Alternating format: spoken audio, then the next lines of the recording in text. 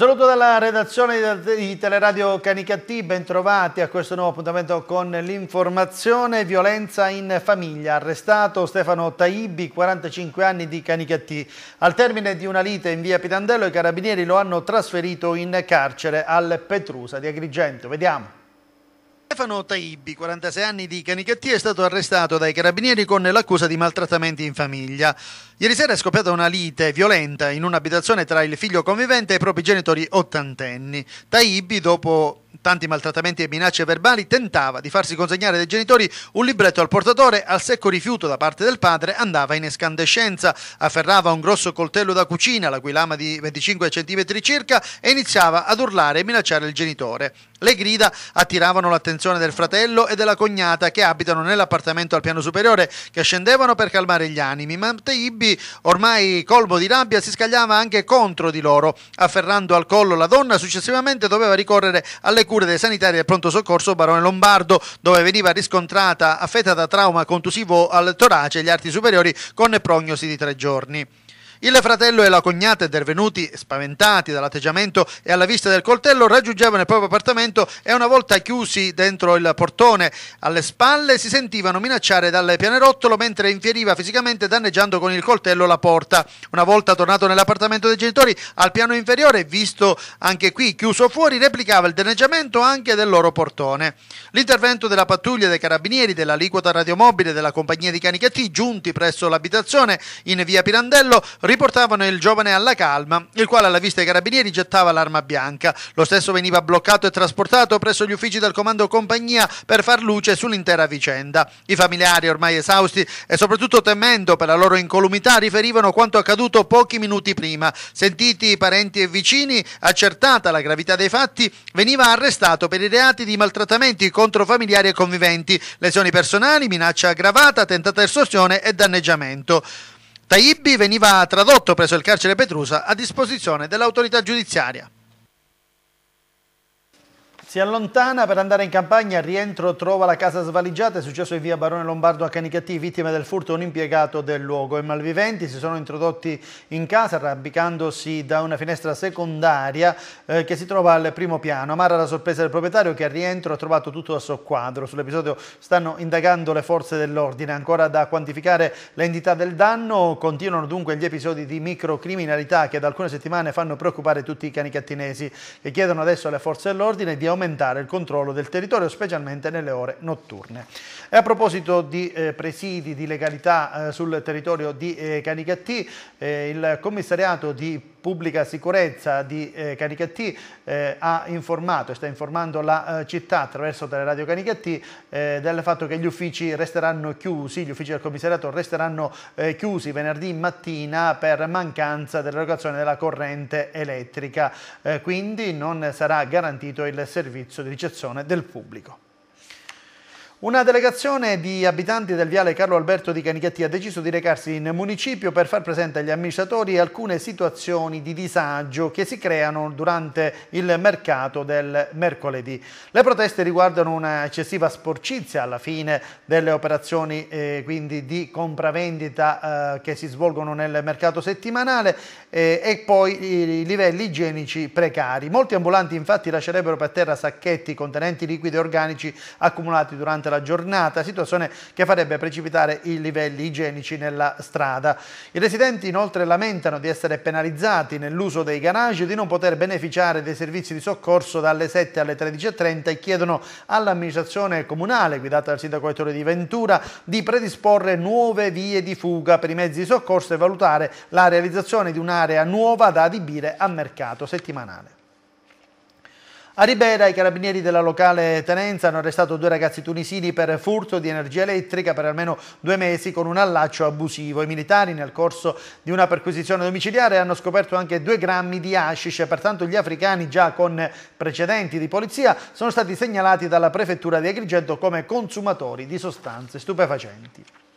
E due giovanissimi, due di 16 e due di 18 anni di Agrigento, sono stati denunciati alla procura eh, dai poliziotti della squadra volanti per tentato furto aggravato. Gli agenti allarmati al 113 hanno sorpreso i quattro intendi a rubare in una villetta in contrada Maddalusa. I quattro hanno tentato inutilmente la fuga e sono stati eh, condotti in caserma dove un poliziotto li ha riconosciuti come gli autori del recente tentato furto al Penny Market in via Crispi, avendone visionato in precedenza le immagini registrate dalle telecamere di videosorveglianza del supermercato.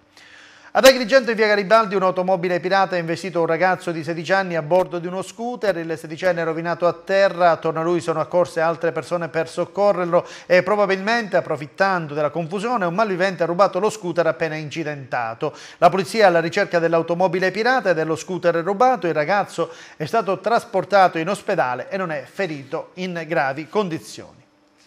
È stata arrestata a Malta la latitante sarda Donatella Concas legata al clan dei Casalesi. Secondo quanto riferisce la direzione investigativa antimafia, la donna era ricercata anche nel territorio della provincia di Agrigento, in particolare a Sciacca, dove si sarebbe nascosta per ben due anni. L'arresto è stato coordinato dalla direzione investigativa antimafia di Padova in collaborazione con le sezioni di Catania, Agrigento e Brescia. Sul conto della donna sarda di 40 anni pendeva un ordine di carcerazione emesso il 25 maggio 2020 2015 dall'Ufficio Esecuzioni Penali della Procura di Venezia, poiché doveva scontare la pena di 3 anni, 8 mesi e 13 giorni di reclusione a seguito di una condanna definitiva per i fatti accertati nell'ambito dell'operazione Serpe, condotta dalla Direzione Investigativa Antimafia di Padova. La, la donna, si legge in una nota della DIA, è stata giudicata colpevole dei reati di partecipazione ad associazione di tipo mafioso, usura, estorsione e rapina in quanto ritenuta affiliata ad un sodalizio insediato nel Veneto tra il 2009 e il 2011.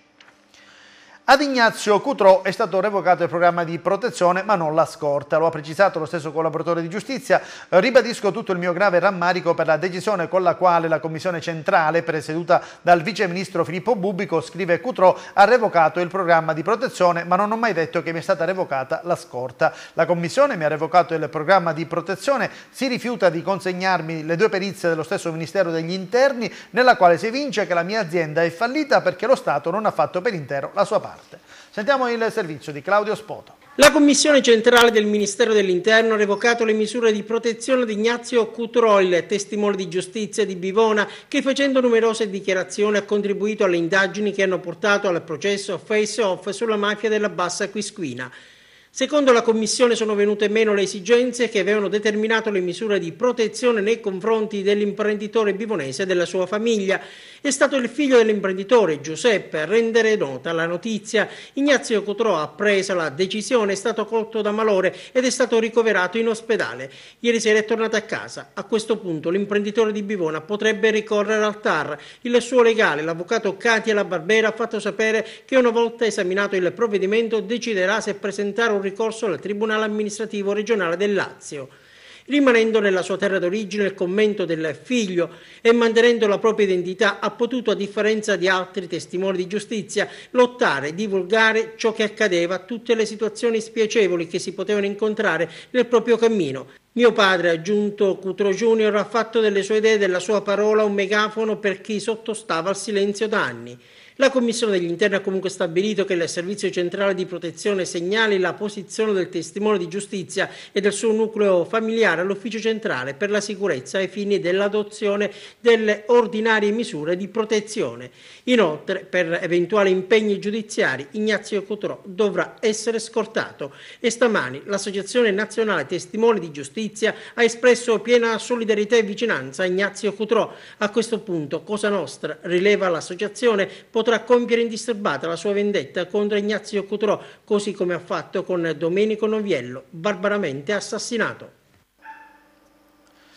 Saremo inflessibili nei confronti dello scandalo di Averum. È intollerabile che ci siano medici e imprenditori che lavorano non per migliorare i servizi offerti ai cittadini ma per sottrarre risorse al pubblico erario speculando sulla salute degli ammalati. Lo dice in una nota il Presidente della Regione siciliana Rosario Crocetta in riferimento all'operazione della Guardia di Finanza che ieri ha portato in carcere cinque persone che eh, dirottavano malati eh, verso strutture eh, private eh, prelevandoli dalle strutture pubbliche. Una una vera e propria forma di sciacallaggio che non ci lascia affatto indifferenti. Il fatto che il rappresentante dell'impresa si chiami Messina Denaro anche perché non si tratta di una casualità. Sono infatti cugini di secondo grado, non proprio un rapporto lontano di parentela, anzi vicinissimo. Già con Lucia Borsellino, continua Crocetta, ci eravamo preoccupati di questa situazione interessando gli organismi competenti. L'inchiesta della Procura della Repubblica adesso apre un libro che intanto fa luce sulla truffa ai danni della Regione. Tale fatto per noi è insufficiente per chiudere ogni rapporto con la Diaverum e con le altre società coinvolte nell'inchiesta. Ci auguriamo anche che possa essere chiarito se oltre all'associazione a delinquere prefigurata dai magistrati di Catania ci siano ipotesi di coinvolgimento. Mi sono recato a Catania dal procuratore Zuccaro per congratularmi per il grande lavoro fatto da magistrati e forze dell'ordine e sono convinto che l'inchiesta avviata nel settore dialisi e sanità, conclude il Presidente della Sicilia, possa aprire filoni nuovi che consentano di sgominare pratiche molto diffuse che dovrebbero fare l'interesse pubblico invece lavorano per il malaffare. L'ex assessore regionale Luigi Gentile, assolto nell'ambito dell'inchiesta cosiddetta Ciapi, ricorda con rammarico il calvario giudiziario personale iniziato il giorno del suo arresto. Non potrò mai dimenticare lo sguardo di mio figlio quando sono stato arrestato. Eugenio Cairone. Assolto perché il fatto non sussiste. È il verdetto emesso dai giudici della quinta sezione del Tribunale di Palermo, presieduta da Piero Falcone, nei confronti dell'ex assessore regionale al territorio l'agrigentino Luigi Gentile, accusato di corruzione nell'ambito del processo Ciapi, frutto di una inchiesta sulla formazione professionale e su una conseguente truffa all'Unione Europea. Condanne invece per l'ex presidente del Ciapi, Francesco Riggio, condannato a cinque anni e otto mesi, otto anni per il manager della pubblicità Fausto Giacchetto, quattro anni per Stefania Scaduto, tre anni e sei mesi per Rino Lonigro, ex direttore dell'Agenzia regionale per l'impiego. Come dicevamo è stato assolto perché il fatto non sussiste l'ex assessore Luigi Gentile che non rispondeva del reato associativo. I giudici hanno accolto in gran parte le richieste avanzate dal PM Pierangelo Padova, si è voluto anche scongiurare il rischio della prescrizione, da qui una sentenza che riguarda un mondo niente affatto tranquillo come quello della formazione professionale, spesso finita nell'occhio del ciclone negli ultimi tempi. L'inchiesta è ruotata attorno al progetto CORAP, rimasto però sulla carta. Dopo le condanne, adesso potrebbe essere sostituito all'ARS il deputato del PD Francesco Riggio. Abbiamo al telefono Luigi Gentile, ex assessore regionale al territorio, assolto dall'accusa di corruzione nell'ambito del processo Ciapi. Onorevole Gentile, intanto per quanto la riguarda giustizia è fatta. Sì, giustizia è fatta. Dopo 40 mesi di grande sofferenza sono, ieri è arrivata la sentenza che fa giustizia, io non ho mai perso fiducia nella, nella giustizia in questi, in questi mesi, c'era stata una prima sentenza della Cassazione dove che, eh, annullava eh, l'ordinanza di arresto, poi confermata dal Tribunale della Libertà, ci siamo fatti un processo dove nulla è emerso contro di me. E diciamo che ieri eh, con grande serenità è stata fatta giustizia nei miei confronti. Ecco, qual è stato il suo primo pensiero dopo il verdetto? Io eh, il primo pensiero avevo accanto mia figlia che mi teneva la mano e ho pensato alla mia famiglia, a tutte le sofferenze che hanno avuto durante questo periodo e non potrò mai dimenticare lo sguardo attonito dei miei figli quando eh, è uscita l'ordinanza di arresto e credo che mh, la dedica a alla mia famiglia, alla, a mia mamma che è stata per 40 mesi a pregare per me. Ecco, ci sono state in queste ore, ci sono stati sicuramente dei messaggi che lei ha ricevuto, uno che ha gradito di più. Ma guardi, di messaggi ne ho ricevuti tanti, di gente che mi hanno eh, dimostrato di volermi bene, tanti attestati di stima, di, di molta gente che che non ha mai perso la fiducia nei miei, nei miei, confronti. Io sono una persona che mi sono sempre interessato per la collettività, mai ho pensato per me, eh, ma mi è arrivato un messaggio da fuori, da, da, da Copenaghen, eh, dove una persona a me molto, molto vicina mi ha, mi ha fatto un po' emozionare.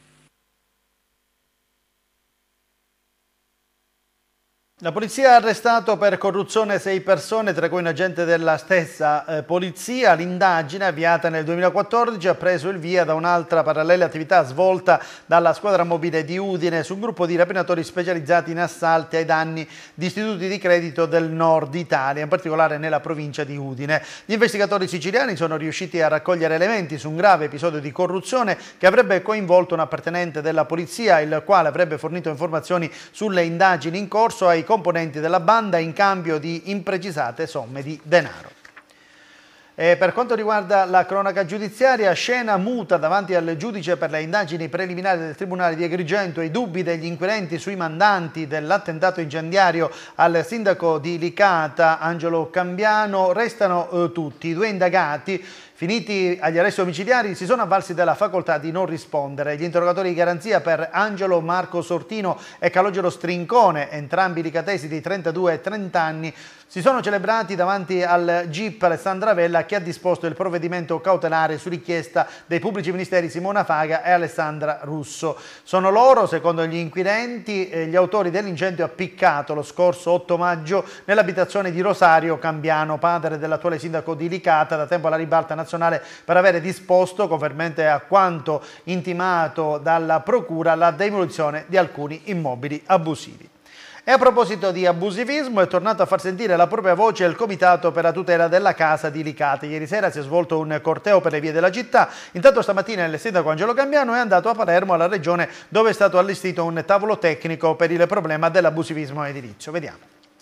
Il Comitato per la tutela della casa, così si chiama l'associazione spontanea di proprietari di case costruite abusivamente a Licata, ieri sera è tornato a farsi sentire e lo ha fatto per mantenere alta l'attenzione, dicono, sul fenomeno dell'abusivismo edilizio che non ha potuto soffrire, come nel resto della Sicilia, di interventi in sanatoria. All'indomani, dalla conferenza stampa dal sindaco Angelo Cambiano, al quale hanno partecipato e dopo i riflettori che si sono accesi sulla questione abusivismo per le minacciate dimissioni del capo dell'amministrazione comunale, ieri sera il Comitato ha organizzato un corso corteo per le vie della città con raduno proprio in piazza Progresso sotto al municipio. I rappresentanti del comitato, guidati da Angelo Curella, hanno chiesto di incontrare il sindaco, ma non sono riusciti nel loro intento perché Cambiano era impegnato in prefettura da Agrigento. Siamo fortemente delusi dall'atteggiamento di questo sindaco, ha detto Giovanni D'Angelo, ex vicepresidente della regione, che si ritrova in questa situazione per aver acquistato una casa a Poliscia, poi risultata non in regola. Perché Cambiano ha fatto in modo che ci siano famiglie che vivono in uno stato di ansia permanente in quanto quanto non sanno se la loro casa sarà abbattuta o quando sarà demolita.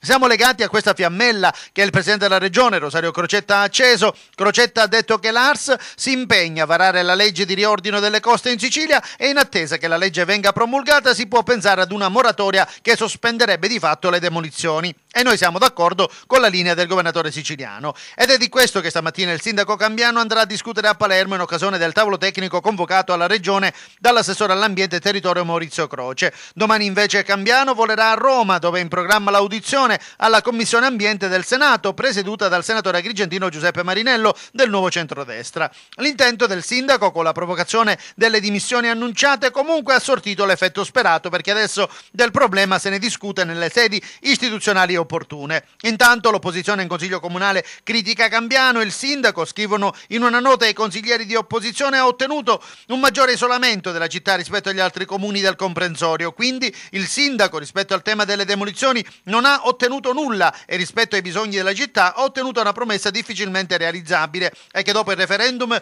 costituzionale potrebbe essere carta straccia. Premesso che la legge va rispettata e le sentenze eseguite pure se altrove non lo fanno, il sindaco continuerà, per usare il suo esempio, a non poter spiegare ai suoi cittadini che la legge è uguale per tutti, perché mentre a Licata si demolisce, nella villetta a pochi metri ma ricadente in un altro territorio, invece non lo si fa. Questa era la ragione risolta delle sue annunciate dimissioni. Un'altra porcheria politica del governo di Rosario Crocetta. Dopo averlo snaturato sul numero con una norma del maggio 2015, adesso propone una composizione che mortifica le serie competenze e l'alto e importantissimo ruolo previsto dall'avanzata legge regionale 80 del 1977. Ci mette dentro ingegneri, architetti e perfino avvocati, guarda solo all'apparato dei beni culturali, tagliando fuori le associazioni e le più prestigiose istituzioni culturali della Sicilia. Lo dichiara in una nota Gianfranco Zanna, presidente presidente regionale di Legambiente Sicilia, un pastrocchio con il solo obiettivo di sistemare qualche amico pensando di, posto, di, eh, pensando di metterlo in un posto di prestigio, ma ormai da alcuni anni la politica sui e per i beni culturali è finita e questo è l'ennesimo esempio di mala politica. Chiude il Museo etnoantropologico della Badia di Canicattì, l'amministrazione comunale non accoglie la richiesta dei proprietari dei beni concessi in comodato d'uso per l'allestimento eh, del museo e quindi si chiude. I particolari. Non abbiamo cosa farcene, venite a prendere queste cianfrusaglie. Detto in altri termini, per noi il Museo Etnoantropologico della civiltà contadina, allestito dalla precedente amministrazione nei locali dell'ex Badia Canicattì, può chiudere i battenti. Quindi i locali saranno liberati al più presto. Il sindaco Ettore di Ventura e l'assessore alla cultura Katia Farrauto sono stati chiari. Non abbiamo cosa farcene dei beni concessi in comodato d'uso dai privati. Tutto nasce da una lettera protocollata al comune di Canicattì il 6 ottobre scorso, sottoscritta da Angelo Greco e da Giuseppe Ferrante Bannera, per intenderci l'ex assessore del comune di Canicattì durante la legislatura guidata da Vincenzo Corbo.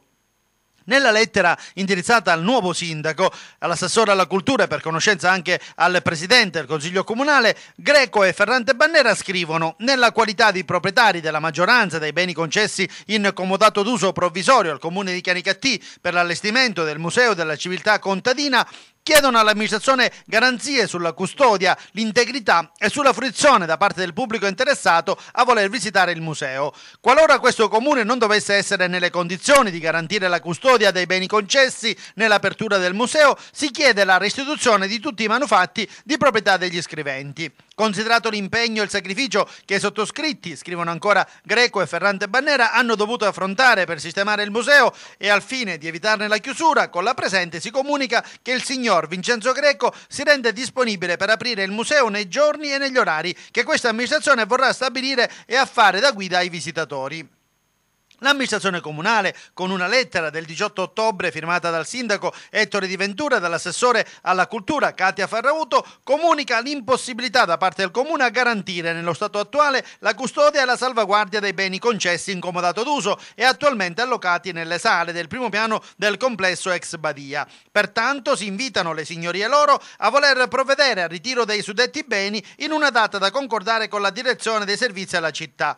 Per quanto riguarda la disponibilità offerta dal signor Greco di provvedere all'apertura dei locali per permetterne la fruibilità, pur apprezzandone l'impegno, si fa presente che il comune, dicono Ettore Di Ventura e l'assessore Farrauto, non può conferire incarichi di alcun tipo sulla parola, in quanto qualsiasi rapporto tra ente pubblico e soggetto privato deve essere adeguatamente contrattualizzato secondo i modi e le forme previste dalla vigente legislazione. Quindi il museo può chiudere per buona pace dei canicattinesi.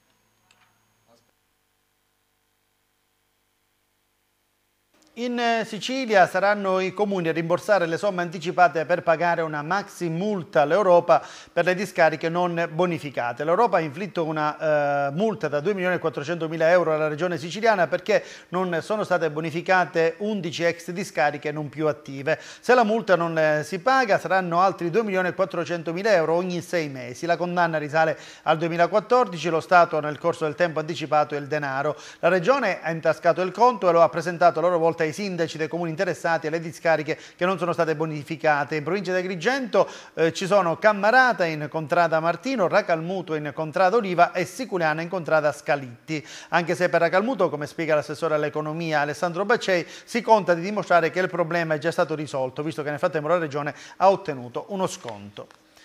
Si è svolta presso la sede del Partito Democratico di Caltanissetta la direzione regionale dei giovani democratici della Sicilia. Tra i punti all'ordine del giorno la mobilitazione dell'organizzazione giovanile per il referendum costituzionale del 4 dicembre prossimo attraverso la costituzione di una rete di comitati per la promozione su tutto il territorio regionale delle ragioni del sì. Questa scelta, supportata da un voto unanime in direzione regionale, è emersa dalla necessità di rendere il più possibile protagonista l'organizzazione giovanile nei rispettivi comuni in cui è presente, si legge legge in una nota.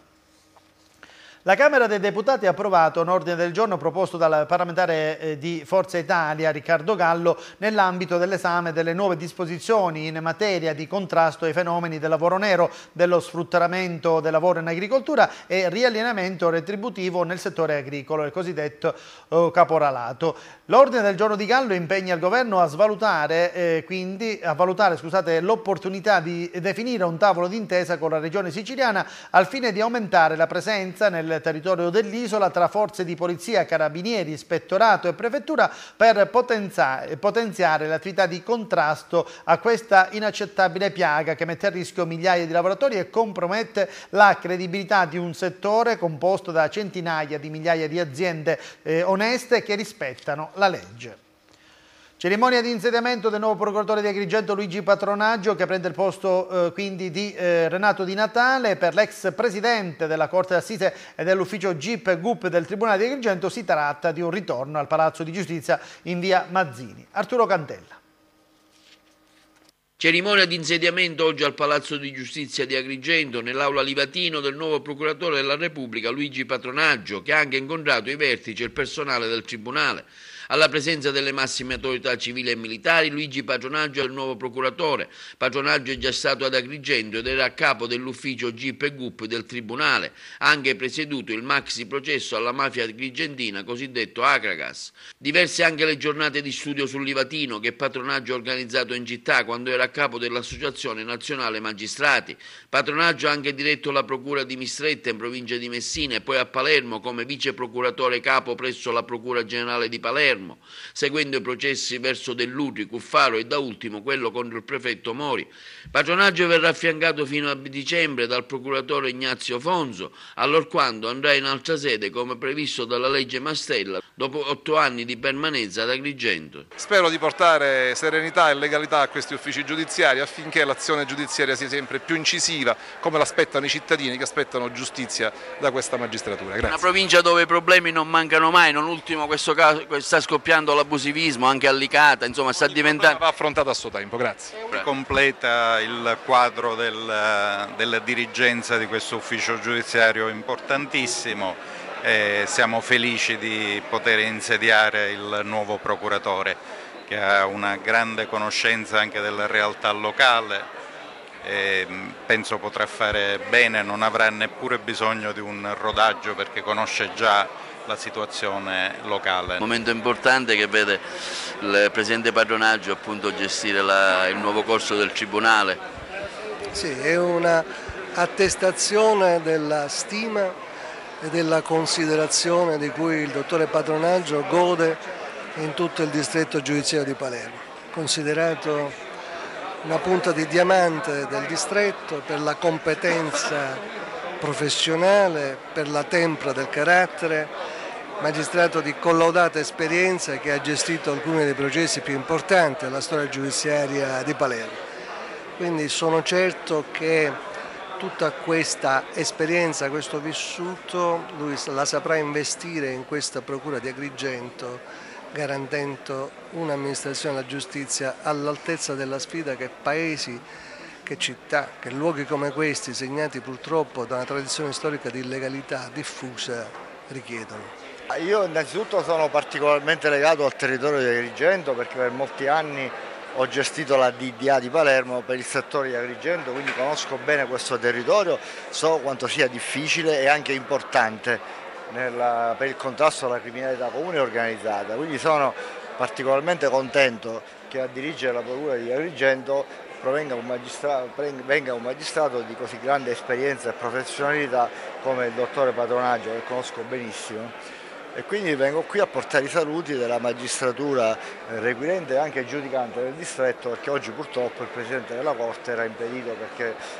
presiede un importante collegio penale, non poteva venire, porterò anche i saluti della magistratura giudicante, quindi sono certo che per la collettività eh, argentina avere un procuratore di questa esperienza di questo carisma è sicuramente un successo e un passo avanti per riconquistare questo territorio a, quella, a quel livello di legalità che è fondamentale anche per la crescita economica e sociale eh, della provincia di Agrigento. La presenza oggi a questa cerimonia di insediamento è veramente quello di portare anche personalmente, eh, come dire, sia come prefetto sia come persona. Ecco. Gli auguri di buon lavoro al dottore Patronaggio, sicuro che potrà lavorare e lavorerà al meglio, anche perché conosce questo territorio e quindi molto più velocemente si inserirà all'interno dei problemi e non ne mancano. La Giunta Municipale di Delia ha approvato i criteri per la graduatoria di assegnazione di 15 card per visite specialistiche alle persone indigenti residenti nel Comune. Per l'acquisto e la fornitura delle card il Comune ha stipulato con l'associazione Pronto Farmi di Caltanissetta un'apposita convenzione. Ogni tessera ha la durata di un anno dalla data di consegna e comprende un pacchetto di 5 visite specialistiche che potrà essere utilizzata da tutti i componenti del nucleo familiare a condizione che ogni componente usufruisca di visite specialistiche diverse. Se il beneficiario avrà necessità necessità di una seconda visita, questa verrà scontata con una riduzione dal 30 al 50% in funzione della specialità richiesta.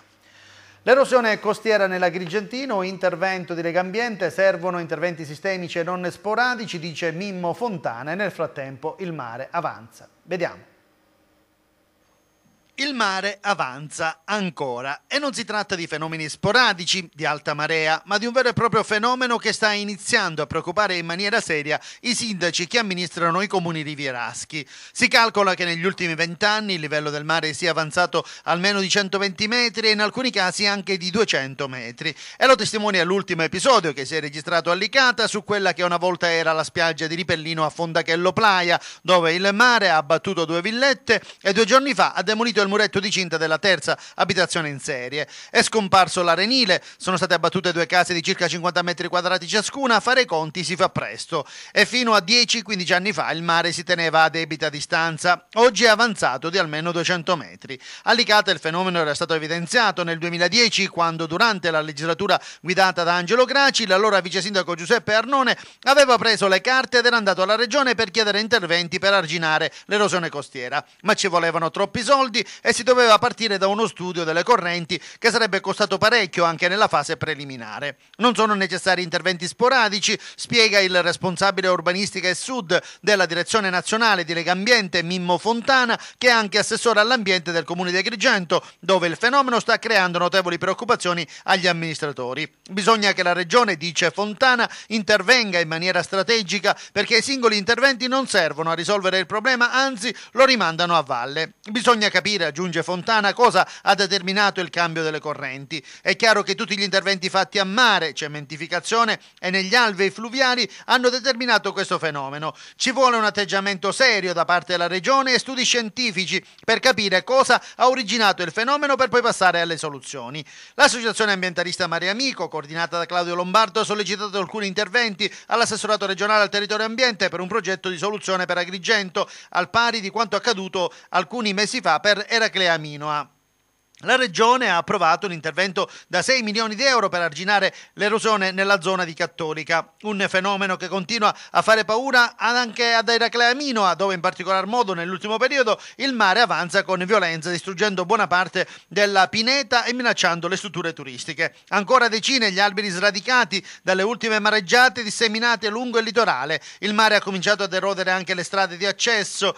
Danneggiato nei giorni scorsi nella seconda spiaggia ormai ridotta al lumicino lo stabilimento balneare Lido Garibaldi dei fratelli Ragusa. I titolari sono stati costretti a smontare in fretta e furia le due verande, mentre ancora rischiano di crollare le cabine. Negli ultimi due giorni la situazione sembra migliorata, nel senso che il mare calmo si è un po' ritirato lasciando spazio alla battigia, ma la pineta si è ulteriormente assottigliata. Si svolgerà venerdì prossimo, 21 ottobre alle 17.30, nella sala Blasco del Palazzo Comunale di Sciacca, il seminario dal FEP al FEAMP, nuove opportunità per il settore della pesca, organizzato nell'ambito del progetto Tartalife, riduzione della mortalità della tartaruga marina nelle attività di pesca professionale, riservato agli operatori della pesca. Al seminario interverrà tra gli altri anche il sindaco Fabrizio Di Paolo e sono state invitate società cooperative di pescatori del comprensorio Saccenza, alle quali verrà illustrato lo strumento finanziamento del Fondo europeo per gli affari marittimi e per la pesca, il principale strumento di sostegno alla nuova politica comunitaria per la pesca. Si avvicina il giorno delle votazioni per eleggere il presidente dell'ex provincia di Agrigento e i 12 consiglieri del libero consorzio comunale. Sindaci e consiglieri comunali saranno chiamati a votare il prossimo 20 di novembre. La Regione ha dato le ultime indicazioni. Vediamo quali sono. Entro domani la commissione provinciale che si occupa delle votazioni di secondo livello per l'elezione del presidente dell'assemblea composta da 12 consiglieri del libero consorzio comunale di Agrigento, l'ex provincia, dovrà depositare l'elenco dei grandi elettori. Dal 30 al 31 ottobre invece potranno essere presentate le candidature con le relative sottoscrizioni. Sono infatti disponibili sul sito della regione siciliana le linee guida per lo svolgimento del procedimento elettorale delle elezioni di secondo grado dei presidenti e dei consigli consigli dei liberi consorsi comunali. Si tratta delle istruzioni che serviranno agli uffici elettorali e ai liberi consorsi per organizzare la tornata elettorale del 20 novembre prossimo. Fanno parte della commissione elettorale di Agrigento il segretario comunale della città capoluogo Pietro Rizzo che svolge le funzioni di presidente, Domenico Tutolomondo segretario comunale di Canichetti e Gabriele Pecoraro segretario comunale di Favara. Domenico Sinaguglia funzionario del comune di Agrigento ha assunto la carica di segretario. Per le elezioni del libero consorzio comunale di Agrigento, la Regione ha considerato, sulla base del censimento Istat del 2011, cinque fasce demografiche, fino a 3.000 abitanti, fino a 5.000 abitanti, fino a 10.000 abitanti e fino a 30.000 abitanti e poi fino a 100.000 abitanti per l'assegnazione del voto ponderato. In base a questa suddivisione, i 130 elettori della prima fascia, sindaci e consiglieri dei comuni fino a 3.000 abitanti, hanno provvisoriamente un voto ponderato di 38. Si tratta dei comuni di Burgio, Santa Elisabetta, Montallegro, Camastra, Luca Sicola, Sant'Angelo Muxaro, Villa Franca Sicola, Calamonaci, Iopolo Giancaxio e Comitini.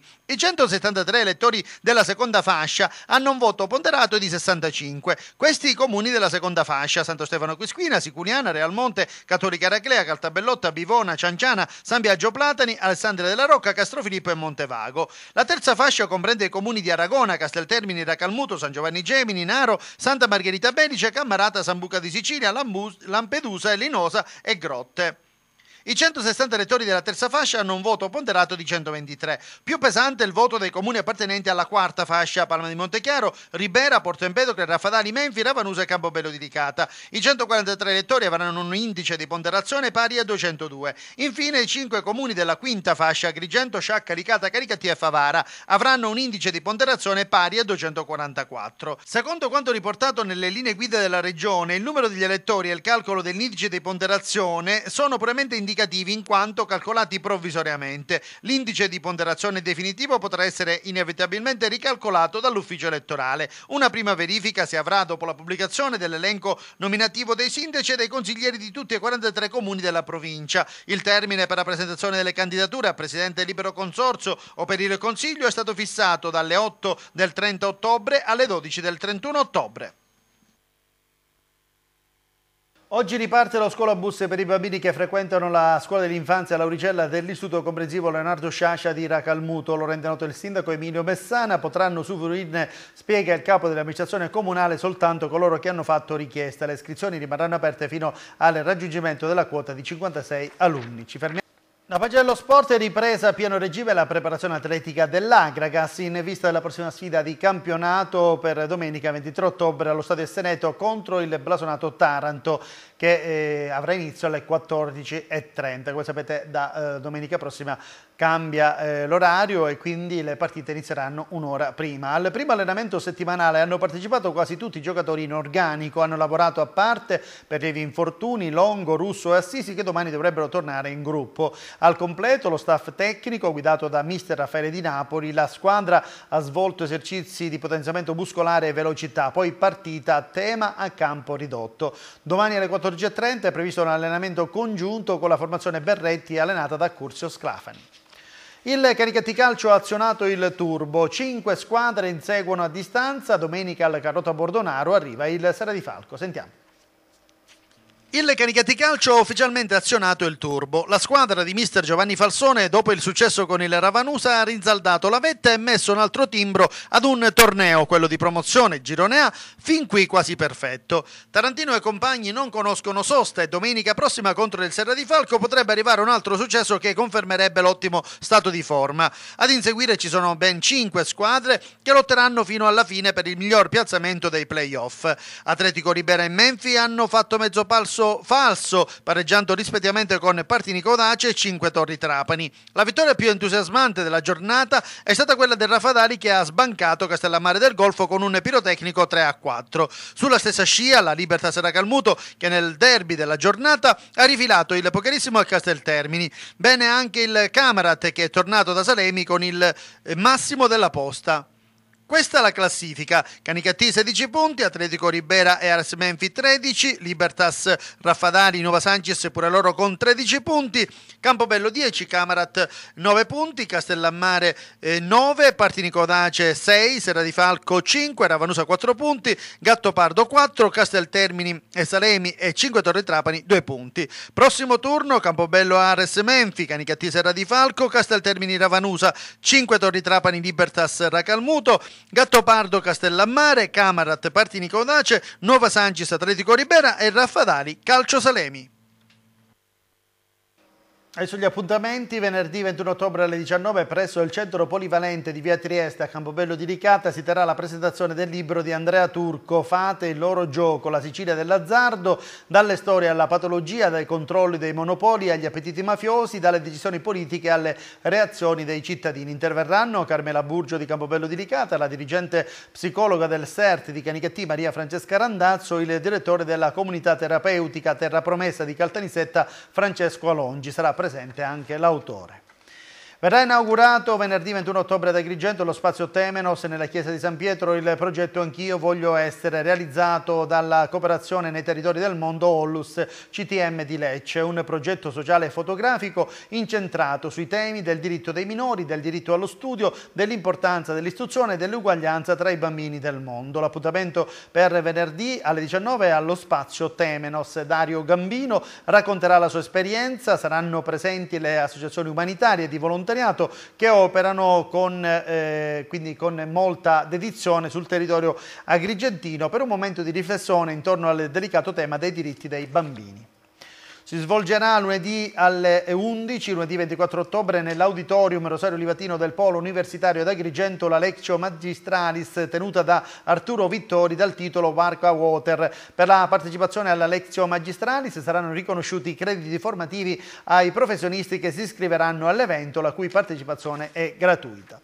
E a proposito di appuntamenti, nel weekend eh, ci sarà a Santa Margherita Bedice eh, quindi la festa del Fico d'India. Il Fico d'India Fest 2016, giunto alla diciottesima edizione, si svolgerà quindi il 22 e 23 ottobre. Due giorni colmi di eventi, spettacoli, gastronomia, degustazioni dove si potrà assaporare il frutto fresco o come ingrediente principale di semplici ricette legate alla tradizione popolare, ma anche conoscere la strada del Fico d'India che oggi vede del comune Bellicino assieme a Sancono e Roccapalumba promuovere il prodotto a livello internazionale.